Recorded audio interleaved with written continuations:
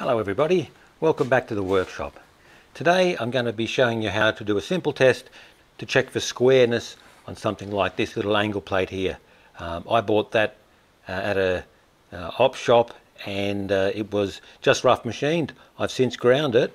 Now I'm going to show you how to check that it's square just with simple stuff that you've probably already got lying around your workshop.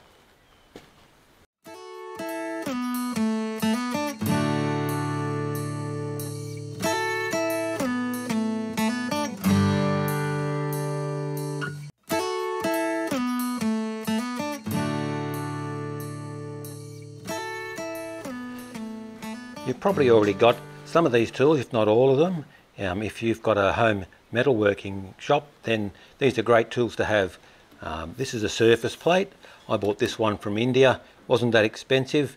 Fits nicely on top of my Rolly toolbox. I think they call them a B grade. The A grade stuff's really expensive and you never need that for at home. Yeah, they say it's hand scraped. I can see lots of little marks on the top here, but they're all looking a bit too even.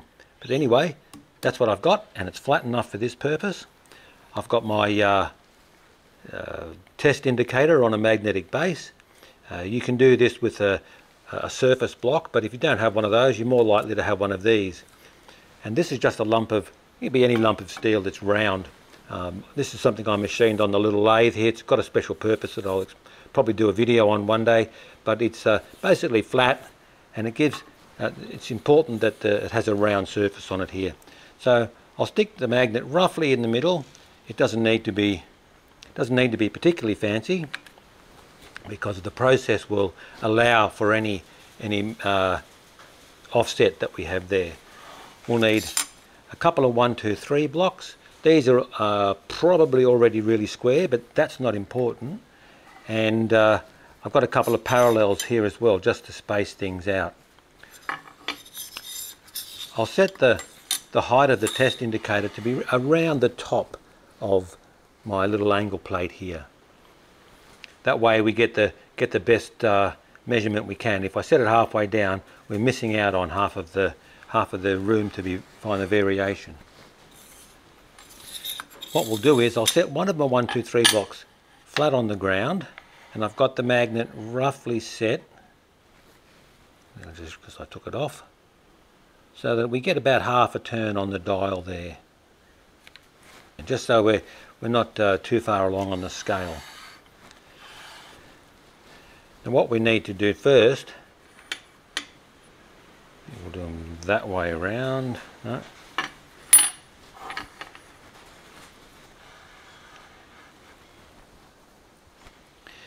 Need to make it a fraction lower because I'm missing the top of the block.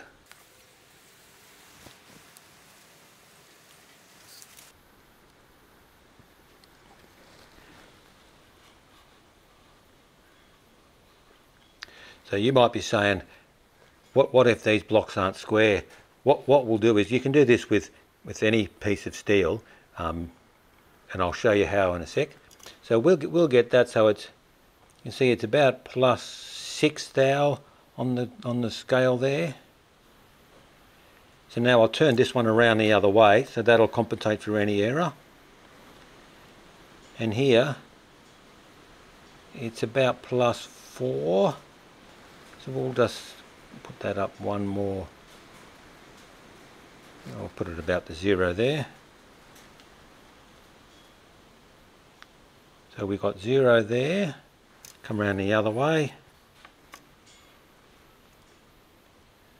We've got plus two. So maybe these blocks are out by two thou.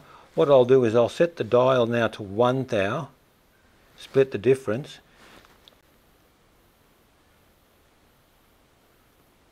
There's one thou. Yeah, one thou the other way. So I now know that this face on the bottom block there is exactly at zero on the on the dial when I when I br bring it around the radius there. So if I bring in my angle plate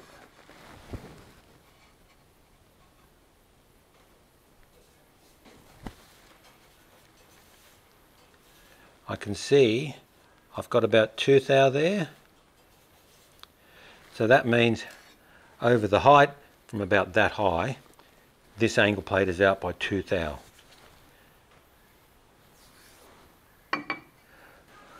There you go guys, that's just a quick way you can uh, check whether your angle plate is square or not. You can use that to check all sorts of stuff. Um, it's not particularly obvious, but when you see it done, you think, oh, that's pretty simple, I can do that. So thanks for watching, and uh, we'll see you on the next one. I can't really see you.